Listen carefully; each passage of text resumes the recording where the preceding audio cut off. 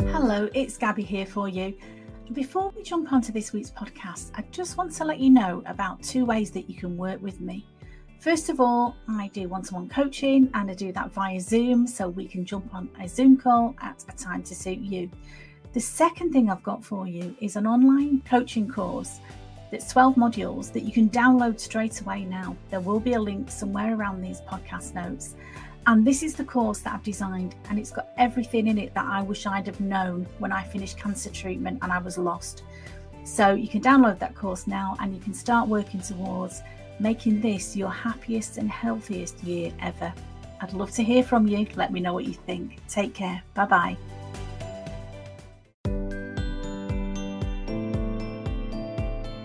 Hi, it's Gabby here for you from Confidence After Cancer, and I hope this finds you well.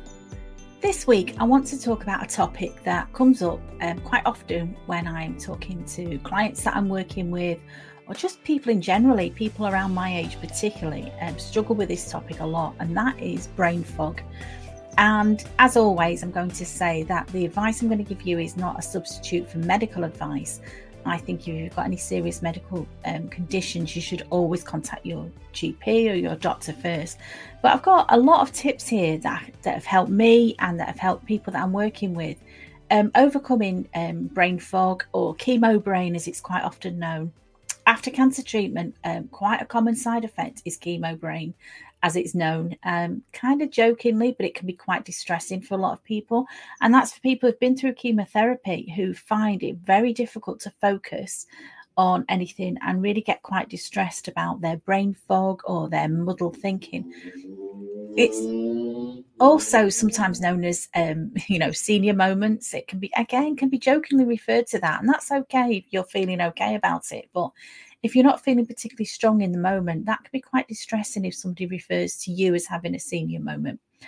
And I know in my life as well, there's been times, sometimes I think it is related to hormones. And I recently saw on Instagram um, Jasmine Harman, who is from um, A Place in the Sun, one of my favorite programs. Bless, and she was talking about her menopause. And she, one of her um, side effects in her menopause journey was she couldn't remember anything. And she was getting really, really distressed about her muddled thinking, not being able to retain facts and information. And that's quite important in her job, you know, as a TV presenter. Um, but for her, her story was she went to a specialist in menopause and was put on HRT treatment. And straight away, she said she could tell the difference. Straight away, the day after she started her H- HRT, she felt the difference and she knew in her, her thinking and her, her brain power, if you like, and her memory um, it was just all her, hormonal. That's for her was quite an easy fix. Um, eventually, after she found the right person who could prescribe the right level of HRT for her. So I'm going to talk about, you know, for cancer survivors, chemo brain, or sometimes uh, any of these things, muddled thinking, brain fog, can be quite a distressing side effect of the treatment that you've been through, but also about the um, basically the trauma that you've been through as well. It's not always related to to the treatment that you've had. It can be related to the trauma that you've been through, the shock of your diagnosis, and the changes in your life that you may have had to make.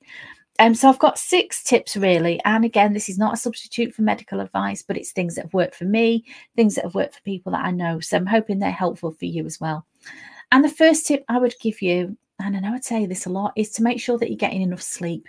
Because if we are tired, if we're distressed, you know, if we're not getting enough sleep, it's very, very difficult difficult for your brain to be on track, to keep on top of things. And it's quite, you know, you understand yourself when you're really, really tired. Um, how difficult it is to to keep on top of things and to have clear thinking and to be able to make the right decisions. But sometimes we get in the habit of thinking well i don't need a lot of sleep or i'm just used to that or i hear people say well i never sleep very well. It's just the way that i am. And they can go on for a long period of time without getting that wonderful restorative sleep that we all need when we are sleeping. You know our body is re- uh, repairing and restoring itself. We all need that sleep and that's quite a, you know if that's a huge problem for you that's a separate subject. But for most people it could be just a bit of thinking about your sleep and maybe getting yourself a few early nights getting yourself into a nice routine of calming down at night and just making sure you're getting to sleep And also, the other thing that's linked to that quite often is exercise. And I know myself, if I make the effort to get up in the morning, go and do some exercise, and it can be simple as a 10 minute walk to my local park, it doesn't have to be anything too uh, vigorous or too overstretching. But I know if I've done that exercise every morning, I do sleep better and I know I feel better about myself. I feel more positive and I'm less likely to get distressed by brain fog or not being able to remember things. The next tip I would give you is always to deal with any worries that you've got.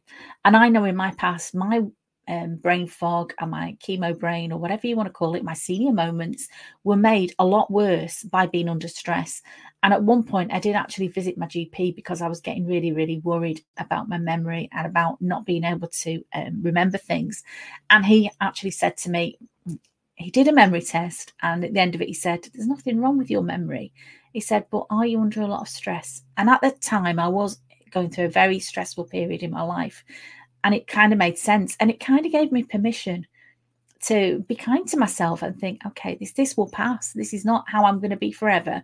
Because it's quite easy to get into that negative spiral of thinking, well, this is it now. I'm senior, you know, I'm 60. I'm never going to be re- able to remember things again.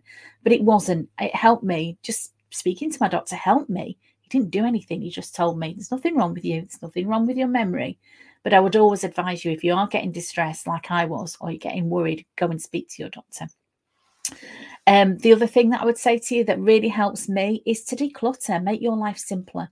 You know, I've talked before, and I will probably do a, a, podcast episode all about the benefits of decluttering, making your life simpler. The more stuff you have, the more effort it is to look after that stuff, to store it, to clean it, to look after it. And I know myself, it can be just something as simple as just clearing out one drawer, organizing a drawer. Um, makes me feel better, um, or just cleaning something. And again, you don't have to tackle your whole house uh, all at once if you're feeling overwhelmed. Just do one thing for yourself. And it is kindness. And it's almost like a bit of mindfulness for me, cleaning out a drawer, making it smell nice, maybe using some essential oils, putting things back and having things in order always helps me to feel more in control and makes me clearer in my thinking. That really helps me. One of the ladies that I listen to is a wonderful lady called um, Denise Duffield Thomas, and I've read her books, but I, I like to listen to her on Audible as well. And she talked about when she had baby brain really badly, and she had two small children, I think. And twice, I think she locked herself out of her house, and she was like, I can't go on like this. She was a busy woman. She was running a business. She had um, a house. She had children, a husband to look after. She had a lot going on, and she just thought, I can't cope with this losing my keys and she took what i thought was quite a drastic step and she um, got a keypad put into her house so she has no keys anymore so no keys to lose. She just has a keypad.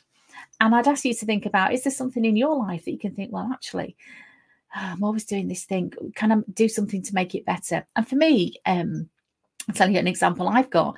Um, a few years ago, I was diagnosed with short sightedness. So I went to my optician and he said, You need reading glasses. And I've been struggling for quite a long time to read things close up. And I got these reading glasses and spectacles, you know, that were quite expensive and had these glasses. And I was forever putting them down. And then I couldn't remember where I put my glasses. And I was getting a little bit stressed about this. And then I realized I went on Amazon and I realized I could buy five pairs of reading glasses for something like £10, something really cheap. And so I bought five pairs, and now I have a pair in my handbag, I have a pair of reading glasses in my car, I have a pair of reading glasses in my nightstand next to my bed. So if I'm reading in bed, I can put my glasses on.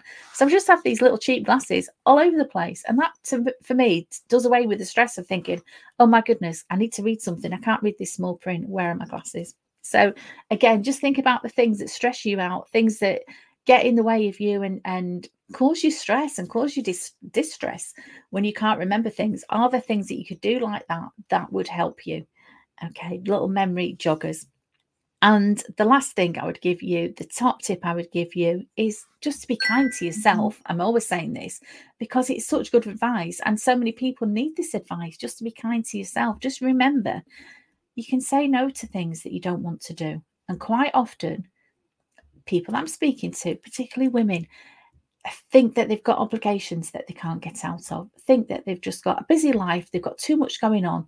But actually, I can't really say no to that. I couldn't say no to that person, or my boss wants me to do this thing, and I'm always the person who volunteers.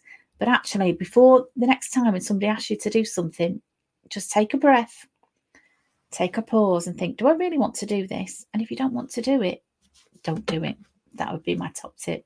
So stop overwhelming yourself. You know, you do have choices.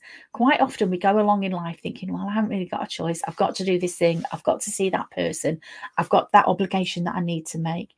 But we do it until sometimes we get so many obligations and so many things that we have to do that our brains just shut down and there's only a you know certain amount of things that your brain can remember and cope with and enjoy.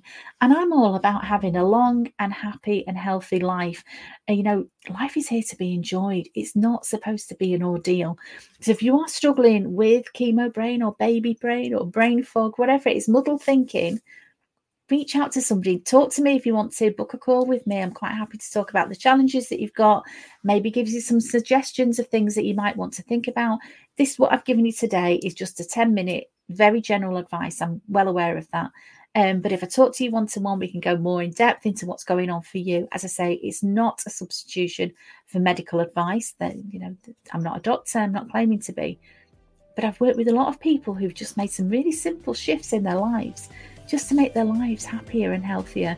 And I'd love to reach out to you if that applies to you. So, as always, I'd urge you to have a wonderful week, stay safe and stay sane. And I'll speak to you very soon, my darling. Take care. Thanks for listening. Bye bye.